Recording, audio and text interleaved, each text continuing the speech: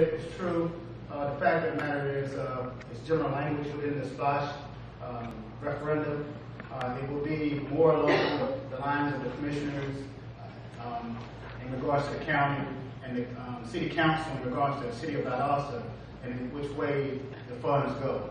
I can tell you as a commissioner, my goal would be to um, improve a lot of those desolate areas in the southern part and all throughout uh, Super District 4. I prioritize a lot different than everybody. I'm going to be honest with you all. Um, there's some things I like about the then there's some things I'm not necessarily as crazy about. But I do understand the language, and it allows for the commissioners to be able to scale back projects.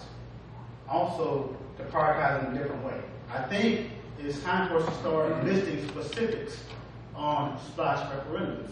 I'm a proponent of that. I see other counties do it because you don't have to try to sell something because people know what they actually get.